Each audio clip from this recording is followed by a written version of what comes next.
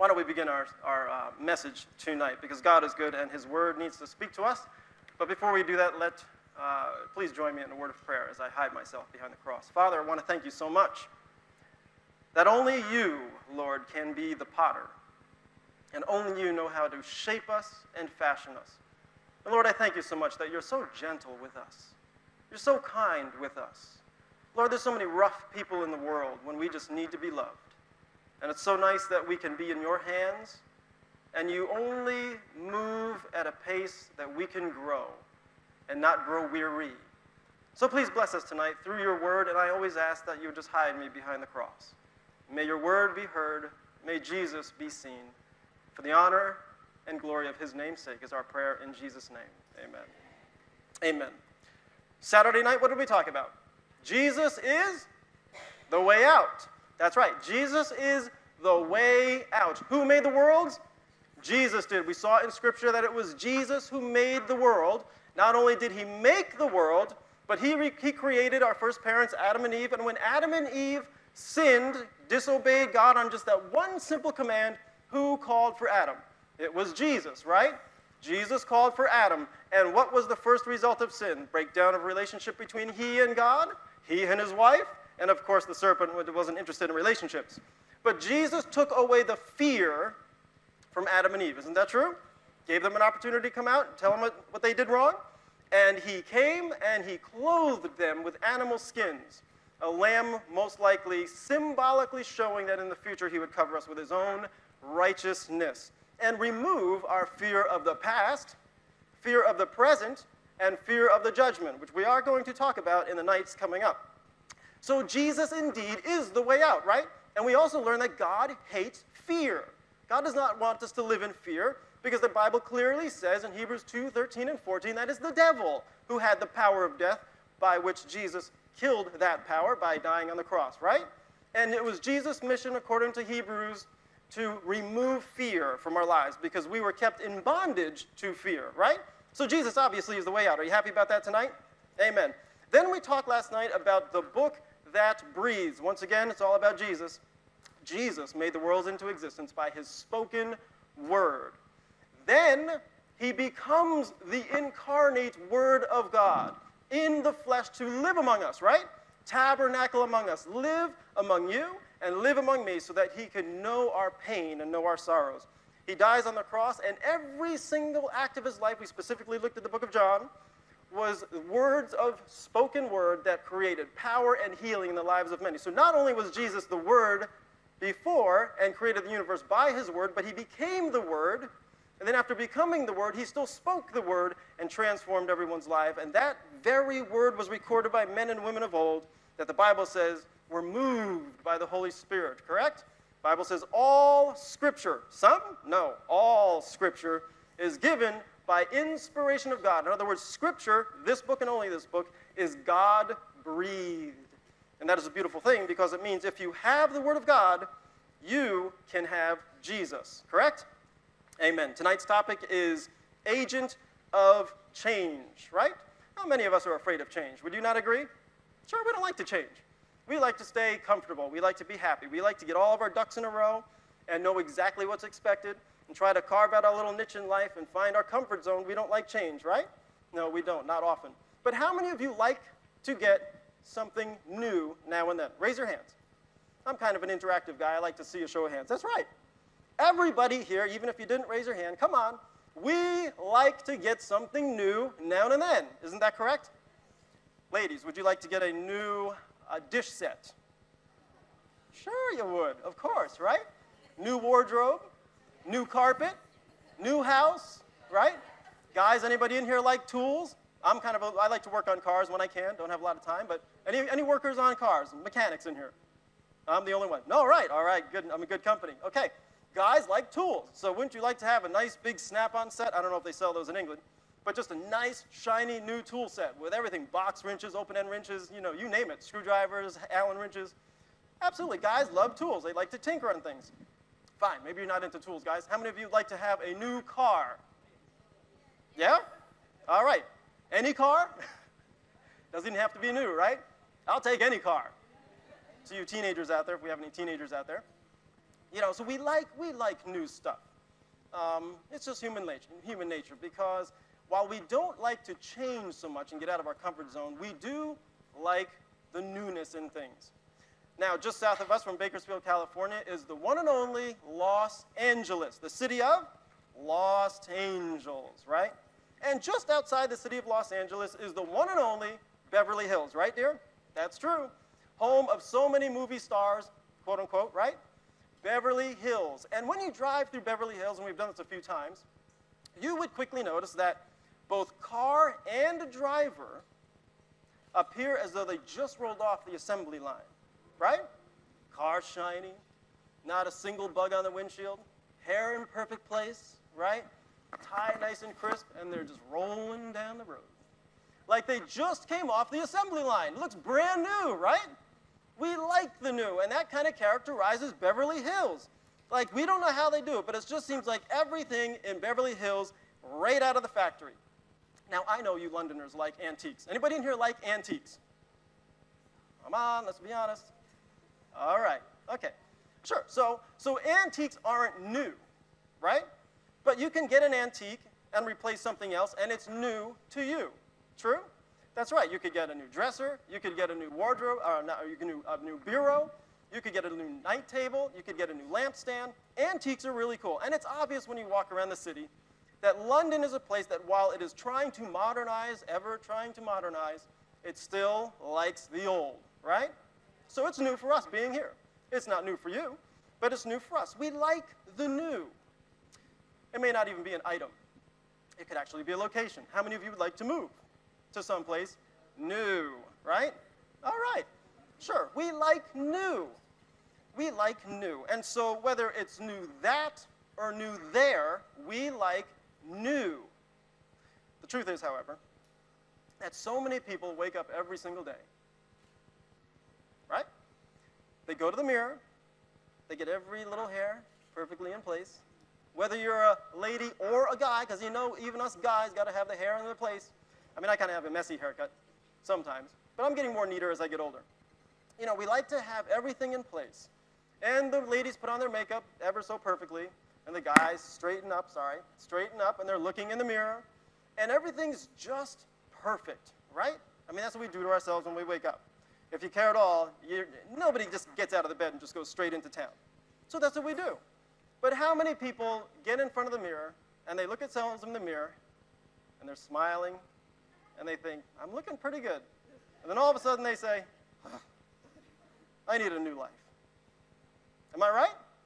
Millions of people each and every day wake up, do all they can to look their best, get in front of the mirror, and they stare at themselves for a moment, and for the moment they feel great until that moment passes and they say, I need a new life. And new life sounds great, does it not? Now, no sooner do we say that, or you have said that, when the world is ready to answer. Am I right? Now, what do you guys call, and ladies call, billboards in London? Is it billing boards or do you use billboards? Is that right? Okay, I, I tried to figure it out online so I could try to get the terminology right. So billboards works, and we're going to call it billboards. All right. No sooner do you say, I need a new life, when you're driving down the road and there's the billboard, right? Come into our department store, and you can have a new you, right? How many of you have been up late watching those infomercials? Get these vitamins, and they're going to transform your life and make you brand new. Act now, and we'll give you five more. If you call in the next 10 minutes, we'll give you 15, right? And then, of course, you call and you find out that the shipping and handling is about $90 or 90 pounds. You know, so the world is so good at promising new. Am I correct? And no sooner do we read those ads, those billboards, and we find ourselves in the car lot. We find ourselves in the department store. We find ourselves in the supermarket. We find ourselves trying to figure out how to make the newness a part of our own lives. And it works, doesn't it? The advertising works. Because the truth is, once we've bought into the advertising and we actually get the product or the place, we quickly find out something that the new doesn't really last that long. Am I right? Sometimes the things the world gives us, in fact, I would say most of the time, the newness doesn't last that long. It only lasts for a season. I'll tell you, you know what? Dear, isn't it true that sometimes when we go through the grocery line, you ever go through the grocery line, those of you who have kids, and you know you're there and they always put all those little trinkets right, right next to the, to the register so that as you're standing in line waiting for the person in front of you to hurry up so that your kids don't notice what's there on the counter, right? You're, you feel the tug on the, on the pants. Mommy, mommy, mommy, get me this, get me that. And usually we just say, no, no, no, no, no. You know, that's just junk. But every once in a while we're feeling bad or we've been in the supermarket too long and we've just, our patience has been worn thin, right? And we get them that little trinket and trinket, and they think it's just the greatest thing in the world. It's brand new, right? Now, how long does the joy of that thing last? Yeah, you know. You get home, they pop the packet package open, and it lasts about five minutes. And the next thing you know, they're fighting and arguing, and they're right back to the same old, same old, right? Isn't life like that sometimes when you try to buy into what the world calls new? And uh, I don't know, Pastor, have you ever bought a new pair of shoes and you're excited about those new pair of shoes? And somehow between the store and home, that new pair of shoes gets scuffed up. Maybe you hit the side of a curb the wrong way, and that nice, shiny shoe is scuffed, right? And it's no longer new anymore. Now, I know we can polish and we can buff and we can do everything we can to make that shiny again. But it's just so sad, you know, that the world promises newness. And what we find is that the world's newness never lasts very long. I got good news for you tonight because God has a billboard too. Did you know that? God has a billboard too. And we're going to drive down the street and take a look at this billboard. So hop in the bus, hop in your car, whatever you want to do, take a walk. We are going to drive down the New Testament. We're going to drive past Matthew, Mark, Luke, John. We're going to drive past Acts, Romans, 1 Corinthians, and somewhere in the middle of 2 Corinthians Street, we are going to look at chapter 5, verse 17. Those wonderful guys in the audio booth are going to get that up on the screen just about now. 2 Corinthians chapter 5, verse 15. And I'm sorry, 2 Corinthians 5, 17, yes. And what does God's billboard say? Are we having trouble back there? No, we're not. There it is. There's the billboard. That's God's billboard. Therefore, if anyone is in who? Christ. He is kind of a new creation. No, he's a new creation. Old things have passed away. Behold, some things become new. All things become new. What? That is amazing. God doesn't promise just a newness that lasts five minutes, but He's talking about some kind of newness that permeates your whole entire being. Does that sound good to you? That sounds good to me. That's His guarantee that all things become new. How can this be? Well, I'm thinking of a lady who lived a long time ago. This lady lived somewhere in the first century. And she grew up her whole entire life walking to the same old place. You know, because mommy walked there. And she'd follow mommy to this place hundreds of times and hundreds of times and hundreds of times. And then she grows up and mommy passes away. And she finds herself walking to the same old well, right? Same old well. And this lady's depressed. You know, she's discouraged. Why? Because she's not only tired of the same old well, but she's tired of the same old town. Because everybody in that town knows her. And everybody in that town has labeled her, right? And she's tired of it. She needs newness in her life. You ever feel like that? That people know all about you and they never let it go? Everybody knows the kind of person you are. I'm not saying you're like that kind of person, but you know, people like to label people. And so she had that reputation the one who was used and abused, who had all kinds of failed relationships. I mean, this lady was laden and heavy, heavily weighed down.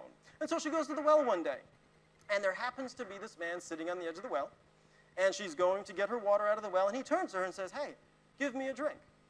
And she has to remind him, because, you know, there's cultural differences here, you know, that, hey, guy, you're not supposed to be talking to me, first of all, because you're a man and I'm a woman, right? That's kind of the issues back then.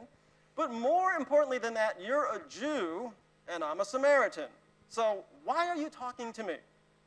Well, we can pick up the story right here in, in John chapter 4, verse 10. And this man, of course, we know who this is. It happens to be Jesus, right? And he turns to the lady and he says these words. If we can pull that scripture up right about now. The lady's sitting there wondering, why is this guy talking to me? And Jesus says to her in John chapter 4, verse 10, Turn in your Bibles if we can't get that up on the screen. He says to her, If you only knew the gift of God and who it is who says to you, Give me a drink, you would have asked him, and he would have given you water from Fiji. No, no. Do they sell Fiji bottled water here? Yeah. Does it even really come from Fiji? I don't know. Whatever. He says that he's going to give her living water, right? I've never seen living water. But anyway, that's what Jesus told her. And she's thinking, what? Living water? What in the world is that? And so, of course, she has to remind him, right? She's got to remind him because, first of all, why is he talking to her in the first place? So she's got to remind him, Sir, the well is deep. You know, life's complicated, man. Life is not easy, it's deep. And don't we do that with God sometimes? Right? He's trying to give us something, and we just don't think this is possible, right? I mean, I know, Lord, you can do all things. I, I read the word and I see that you can do all kinds of miracles. But really, I mean, when it comes to my life, my life is complicated, right? My life is deep. My problems run really deep, Lord. I, I mean, do you know how deep this well is? Right? This is Jacob's well we're talking about here. And so she goes on and on and on and tries to kind of distract him from, from his question. And what does he say to her? he says to her in the next verse, John chapter 14, verse 13. Oh, that's not our next verse. I'm sorry. No, I think we skipped one. That's right, because we are still in John chapter 4. Did you have, ver- it's actually John 4, 13. Okay, so anyway, he says to her, Whoever drinks of this water will thirst again, but whoever drinks of the water that I shall give him will never thirst, right? But the water that I shall give him will become in him a fountain of water springing up into everlasting life, right? Wow, that is living water. And what does everlasting life mean in the context of what he's talking about, the water? Everlasting newness, right? You imagine never having to go to the well again? And we know the rest of the story. We're not going to cover the whole story. But she says, Sir, give me this water. And so something happens here. Jesus promises to give her never ending newness. And trust me, this lady is ready for never ending newness. She's tired of going to the well. She's tired of going to that well. And maybe the well wasn't really that deep. Maybe sometime, someday, she could see her own face in the reflection on that water. And what she sees, she doesn't like. So to hear these words of Jesus stirs something in her. Did you know that Jesus can transform your whole life and do something new inside that never goes away? That's right. He says that he can make all things new. Jesus can fix your reputation too. Did you know that? Right? I mean, sure, the Lord can, can maybe work things and orchestrate events so that we get a, a new car that's breaking down, or maybe eh, you know find a means to take care of our mortgage and we're a little bit behind on our bills or something like that. But I mean, the reputation, that's a tough one, right? The reputation, that's a tough one. But here's the deal when Jesus offers you something and you accept what he offers, something happens inside. A newness starts to take place. In fact, it's so new that you can't even contain it. How many of you have ever experienced something that was just so exciting that you had to run and tell somebody? Hmm? I hope so. If not, then we all need newness. right? I only saw a few hands. Nevertheless, so guess what happens? She has this experience with Jesus. He tells her all about her past, and she's so excited because this cannot be a normal guy. This must be a prophet. She runs into town and tells everybody about what Jesus did. And then he, she brings them all to meet Jesus, right? Well, guess what happened to her reputation? She was no longer known as the woman who had been with this guy, that guy, this guy, that guy, one failed relationship after another, one problem after another, one bad choice after another. Now she's no longer known as that person, but now she's known as the woman who met Jesus. You know, it really doesn't matter what our backgrounds are. It doesn't even really matter what our reputation is. I mean, it matters, but it only matters if we give it to God. Because when we have an encounter with Jesus, we can be so transformed that when people see us, they're not going to remember us as that person who did this or this person who did that. They're going to know us as the one who met Jesus. Why? Because Jesus can make all things new. And that brings us to God's second billboard. And we're going to see that as we drive a little further to the end of the street in Revelation chapter 21, verse 5. What does the Bible say? In fact, this is Jesus because it says, Then he who sat on the throne said, Behold, I do what? Make all things new. And he said to me, Write, for these words are faithful, are true, and faithful. You see, there's God's guarantee, right? Isn't it nice when you get a product and it comes with a guarantee? I don't know what the deal is with England, but you guys don't have Walmart. But you've heard of Walmart, right? Walmart is known for its return policy, okay? Now, their return policy is so good that you can take the thing out of the package, you can drop it on the floor, break it. I'm not saying I've done this. you can break it, you know. You can bring it back missing half the pieces it had when you bought it, and they'll take it without the package. They'll take it without a receipt. And they'll say, here's your cash. Now, maybe that's why they're losing a billion dollars every once in a while. But nevertheless, their return policy is so good that you can take it back no matter what the condition. Well, guess what? God's return policy is better than that because He guarantees that He can make all things new. And, brothers and sisters, we need that kind of guarantee in this life. You know what? My, my, my wife and I, we've done a few little walks as, we, um, as we've been here. And I've noticed, my wife has noticed too, and you'll find this in any city, in any part of the world, but the people in London just don't look that happy. Okay? Don't take any offense to that because it's not a reflection of you. You come to Bakersfield, California, where I pastor, and the people aren't going to look that happy either. You know, our problem in Bakersfield is obesity. You know, We, are the, the, we have the highest percentage of obesity in all the counties in California. It's terrible, right? And I told you about the terrible air quality, the worst in North America. But anyway, it's a, it, you walk around and people just don't look happy. And in London, I noticed they just don't look happy also. I think they need some newness. What do you think? They need to hear that Jesus can do something new. Trust me, they're running in the gerbils wheel every single day. I can't believe how many people smoke on the street. We mentioned that. I mentioned Sabbath morning. You know what? I'm going to have to go back to church and check myself into rehab. Because somehow, between the time that I left for London and came back, I probably will have smoked about 10 packs of cigarettes without even picking up, picking up a pack, right? And my church members are going to say, I didn't know you smoked. And I'm saying, I didn't. Well, at least I haven't for about 23 years until I went to London. They need newness, right? They need God's guarantee that He can create within, within them new desires, the ability to break a habit that's got them chained and in clutches. That's the kind of newness that God uh, promises us. But there's something else we need to know, brothers and sisters, about newness. Okay? Yes, the Lord promises us newness. He promised her newness at the well. But did you know there's something about newness that we have a part to play? So let's take a, take a trip, uh, make a little small U turn, and we're going to go to God's third billboard. And that third billboard is going to be found, that's right, in 2 Corinthians chapter, nope, that's not right. In Romans chapter 12, verse 2. Uh, brother in the, uh, the AV booth, it's Romans chapter 12, verse 2. This is God's other billboard, and this has a little bit more to do with us than it does to do with what God is offering us. Don't get discouraged. There is a promise even within this verse. So, you turn, going backwards a little bit, Romans chapter 12, verse 2. And what does God's third billboard say? And do not be conformed to this world, but be transformed by the renewing of your mind, that you may prove what is that good, acceptable, and perfect will of God. Now, let me ask you a question What is better, mind renewal or being renewed in your body? Hmm? Now, I know some of you would like to, well, I know I'd like to have a little bit bigger muscles. I'm not weak, trust me. But, you know, I'd like to work out a little bit more. I wish I had more time to do so. I'd like to be a little bit more transformed into a kind of a, you know, stocky, buff kind of a guy, you know? And maybe some of you ladies would like, you know, to, to do some, um, have some transformation too. Not looking at anybody, not making any assumptions. I mean that. You know? So, so what would you rather have though? Would you rather have the perfect body or the perfect mind? Really? Good choice. The perfect mind. Because the truth is, there's a lot of people out there who've got the, purple, the perfect body, but their mind is full of rotten thoughts. True? But if you've got the perfect mind, you should start caring about your body and making some good decisions along the way, right?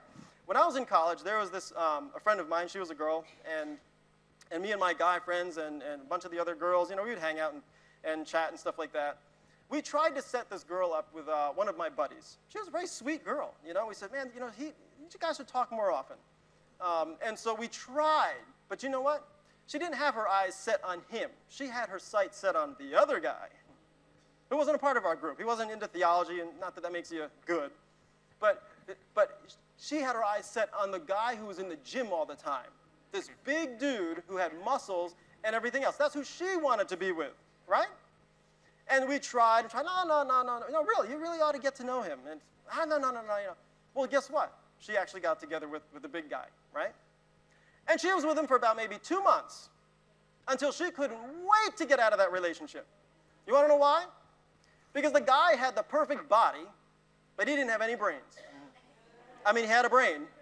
He had a brain, but he didn't have a godly brain. And so he didn't treat her like a lady ought to be treated, right? He didn't care about her. All he cared about was himself. That's why he looked in the mirror 95% of his waking hours. True? And she realized very quickly on, you know what, it doesn't matter how good the guy looks if he's got, if he doesn't have a heart for the woman. Now, ladies, am I right or am I wrong? Ladies have this, what should I say? Knack. You know what knack means? This tendency to go for the guy who looks like they could protect them, right? And I know you've told me, dear, right, that, that when I hug you and I hug you tight and stuff like that, so I love how you hug me tight and I feel protected, right? That's a part of marriage, right? That's a part of healthy affection when you're married. Anyway, so she quickly discovered that it wasn't so much her physical protection that she wanted. She wanted to protect her heart, right? She wanted a guy who wasn't going to protect her from the, the weirdos walking down the street. She wanted a guy that was going to protect her heart. So, what's better, having your mind transformed or having your body transformed?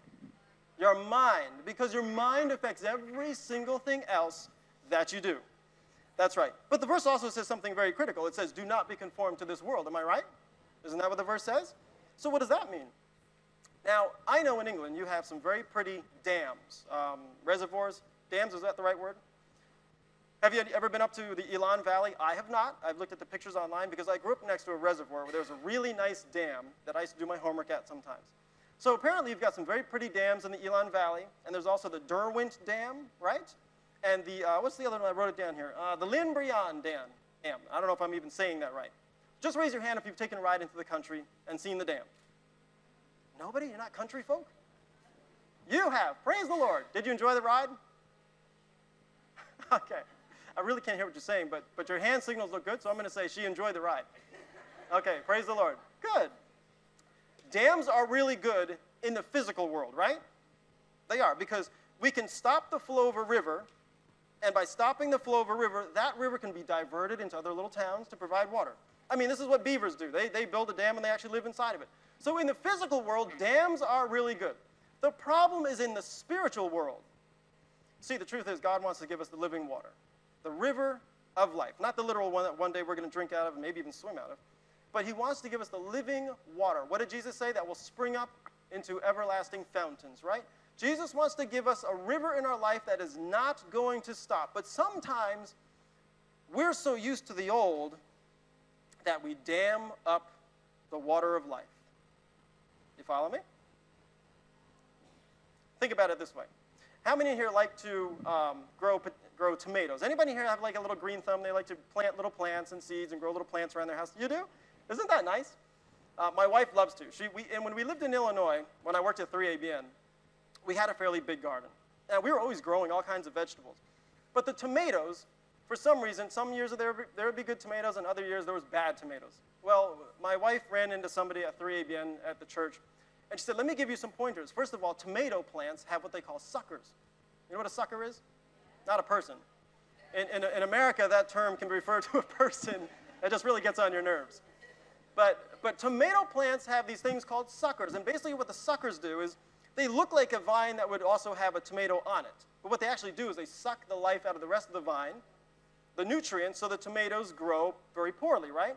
So my wife started plucking off the suckers. And what happened to the tomatoes? Much better tomatoes, right? Yeah. The problem with us sometimes is that we're so used to the suckers. we're so used to the suckers. We're so used to living with the suckers that we don't want to give them up. I'm not even saying we like the suckers, but sometimes there's toxicity in our life, toxic relationships, right? Toxic decisions, toxic habits, and we don't even like the habits, but we're so used to the habits that we don't do anything about them. Am I right? We just kind of ignore them while trying to have new life in Jesus. And what happens? We're stopping up the dam, we're stopping up the waters with a dam of bad habits. So the problem is this the verse is saying, do not be conformed to the world, right? But be transformed. The, the only way that we cannot be tra- conformed to the world is if we're willing to let go of the suckers in our life. If we're willing to let go of the bad habits. Remember, who has the power, who had the power of death? The devil, right? That's right. The devil had the power of death because that's why Jesus came to destroy him who had the power of death. That is, the devil. Now, even though he is a defeated foe, trust me, the devil is not going to give up. He's going to try to keep putting in your life negative thoughts, toxicity, and, and encourage you to hold on to those old things that are damming up the river that God wants to flow freely in your life. Let me illustrate it this way as we get closer to our, our close. I was in college, and I told you I didn't grow up a Christian. I became an Adventist at the age of 21.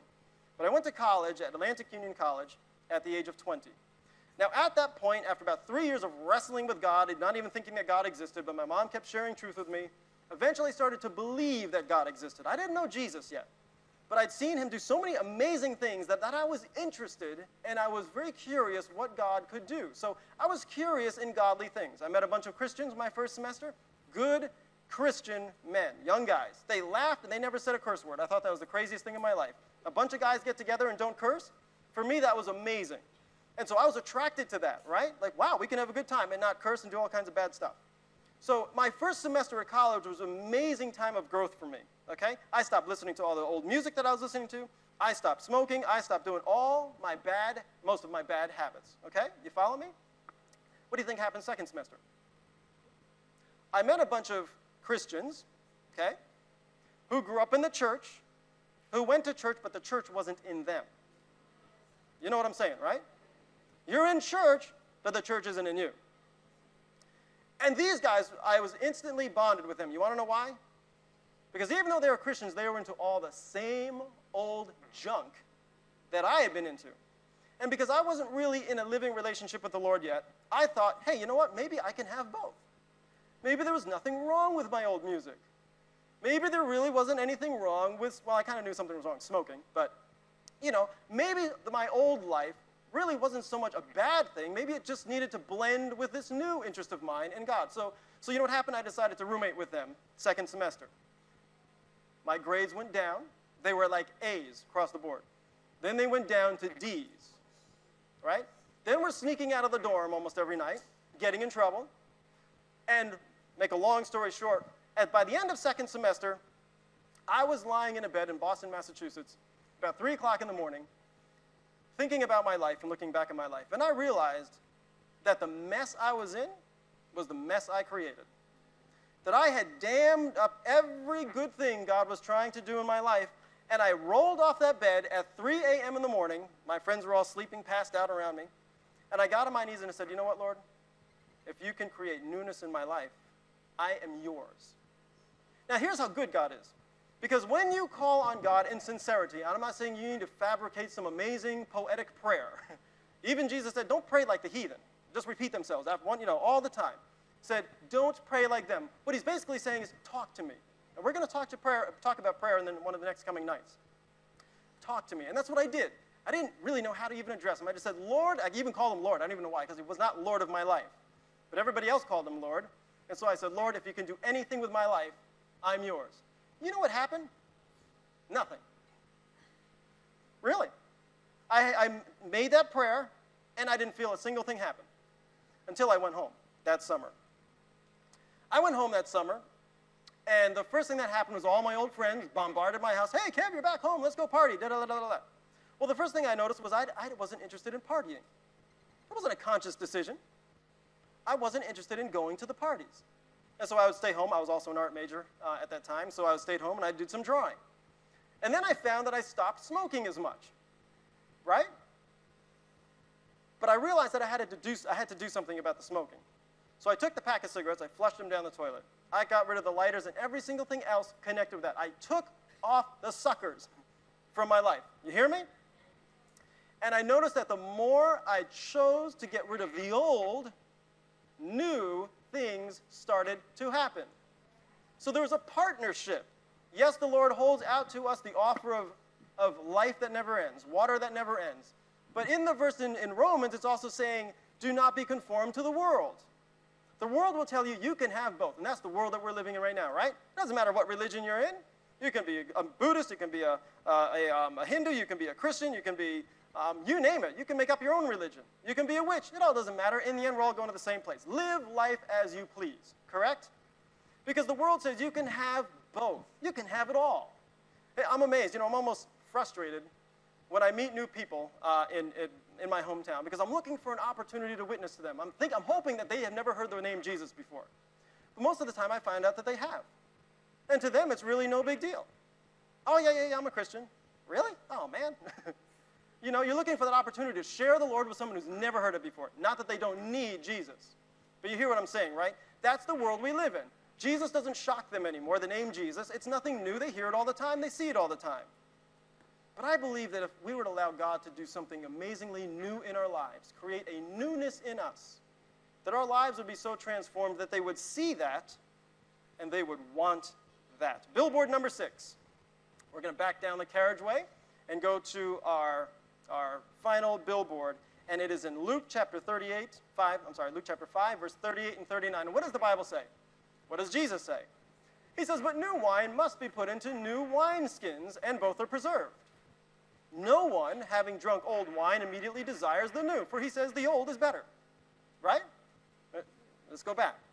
No one, having drunk old wine, immediately desires the new, for he says the old is better. What was I saying? We can be stuck doing the same old things, running in the same old gerbil wheel for so long that we don't even have a taste for the new.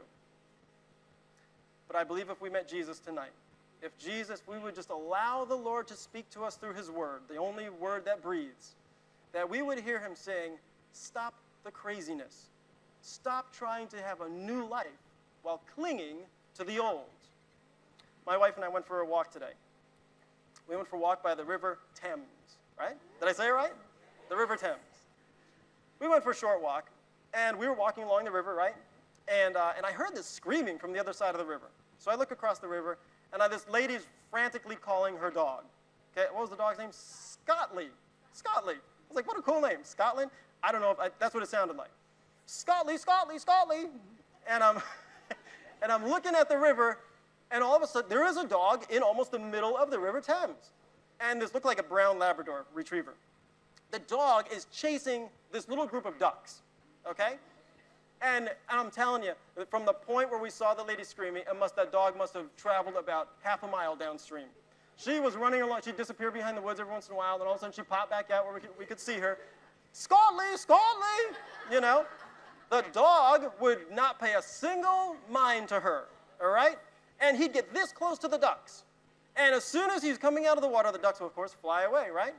And so we, I thought to myself, all right, now fun's over. He's going to go to his master. No, it jumps right back in the river. Right back in the river. After another set of ducks, right? And, and then this, this um, very proper English guy comes walking along, walking his little poodle. And we said, wow, this, this dog, and, and he says, yeah, the dog, she better get involved because the dog gets in the middle of the river, it's going to drown. And that's what we were thinking, right? And so the dog is just going and going and going, and the master's screaming at the dog, come on out.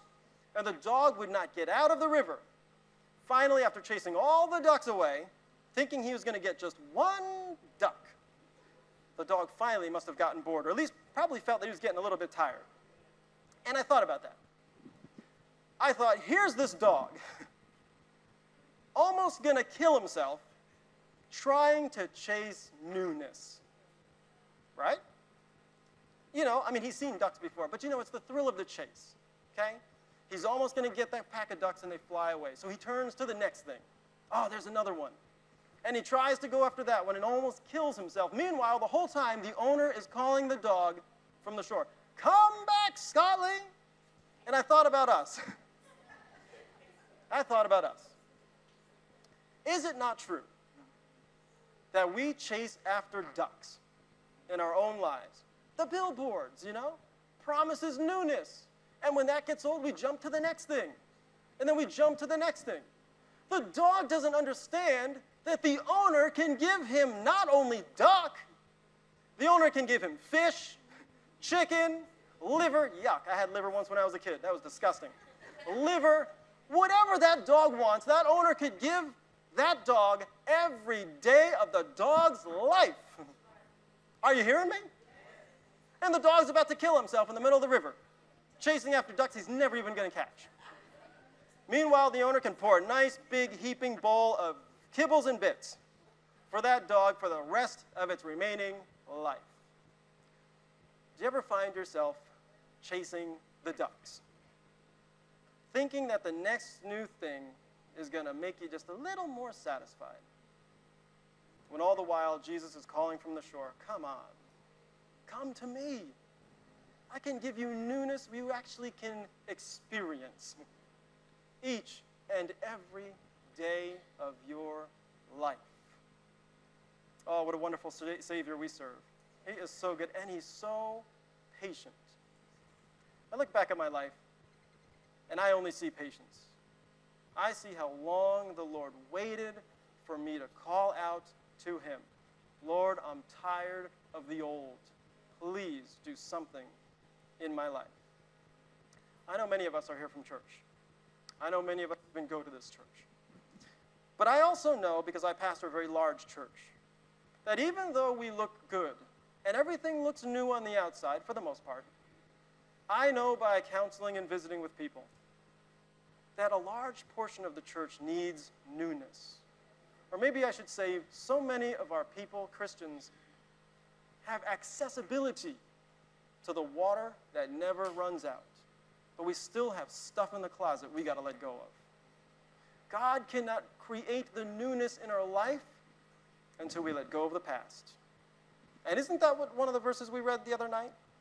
Forget the former things. I am going to do something new. God wants us to forget the former things. And so I want to ask you tonight if you are tired of running around in that never ending gerbil wheel, will you please take your decision card? Oh, forgive me, I had a little example up here. Please take your decision card. The ladies, the precious ladies up here have one of those. And just write on there, I want to follow Jesus. I'm making a decision to follow him, okay? I told you before, we're not putting these on the screen so everybody can know what you wrote down. This is between you and the Lord, just like Jesus met the woman at the well in private, okay? Didn't want to embarrass her. We don't want to embarrass you. Just write whatever comes to your heart. I know, because I know that the Word of God speaks. I don't speak, but the Word of God speaks. I know that tonight, as I was saying things, things were coming to your mind. And you know in your heart of hearts that the Holy Spirit was bringing things to your mind, and you know even now the things that reside in your closet. I don't necessarily want to know what those are. All I want you to know is that Jesus knows what those are, and He doesn't care. All He cares about is you accepting the new and Him getting rid of the old, if you let Him.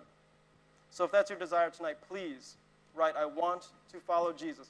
Maybe you want to study this topic a little bit more. You have that opportunity on the card as well. Maybe you want to talk to the pastor, or myself and the pastor, or the Bible worker. We would love to meet with you and talk a little about maybe some of the issues you're facing in your life. Maybe you have a friend that needs Jesus desperately, or maybe it's you. And I said both so that when I ask you to come forward and we can have special prayer for you, we can't look at you and say, they've got stuff in their life, all right? So this could be for yourself or for a friend. So if you have a special burden tonight, and the Holy Spirit is speaking to you, would you please come forward so we can pray for you or for your loved one? You know, the Lord is calling us. The well is old, and the well won't be there forever. Jesus has already been to the well, and he knows how old it is. And he's asking you, stop going to the same old place. Please, take the water that I offer you, and you'll never have to go there again. Praise the Lord. God bless every one of you. God bless.